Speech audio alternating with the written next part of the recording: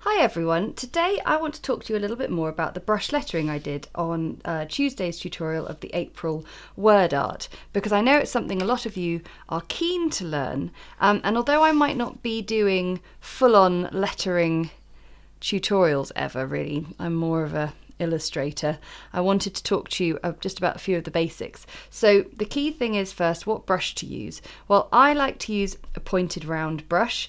Um, you also want to make sure your brush has got a good snap in the bristles, so a synthetic bristle brush is perfect. So it just so happens that my Pro Art brushes that I sell as a set on my Etsy store are my favourite brushes to use. Um, you'll have seen me use them very happily in there. And what we need to have a play around with is how you hold the brush. So I've got a size 2 brush, which is what I used in this one.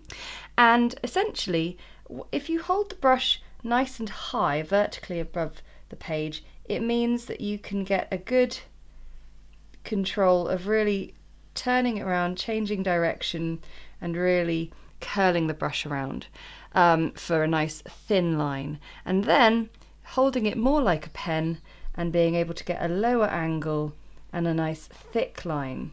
So what I would recommend is having a play around with holding the brush and seeing what kind of control you can get holding it in those different angles because you can achieve the thin and thick with both handles of brush but it's more about when you start to actually write in lettering. So what I've done is I have prepared a sheet here which has some guidelines on it in pencil. I just used my ruler to first just draw in the top and bottom line to create these lines here and then I found a line that was just lower than the middle and for that, that allows me to guide myself, drawing in some very loose letters with a capital filling the hole and a lowercase letter just filling midway and then if it needs to go higher that's fine. And then you can play around with the alphabet to your heart's content. Now as a left-hander I just prefer to do my brush lettering backwards and I'll just move the page over so you can see.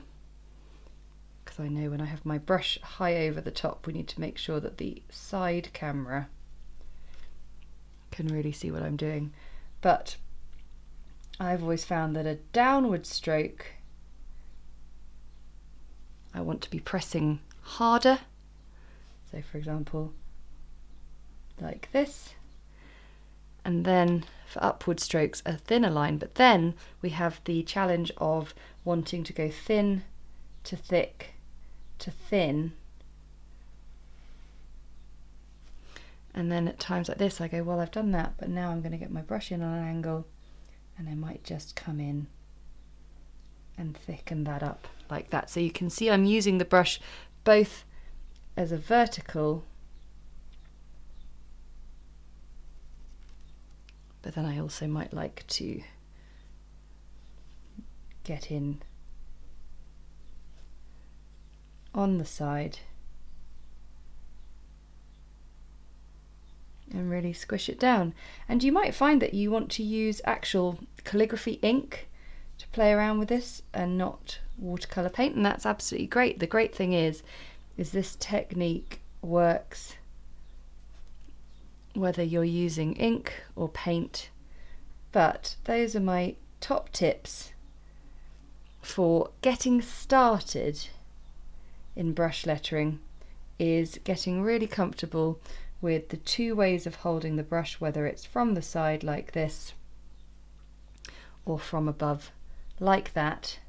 And on the whole the rule being that the downward stroke is going to have thickness to it.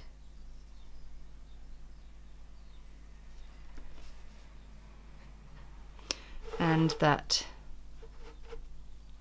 the upper strokes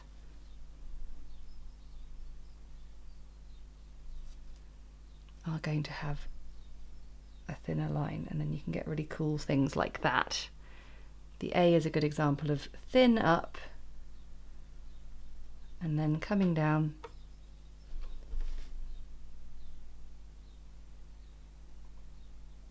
And I really like those raw edges that you get.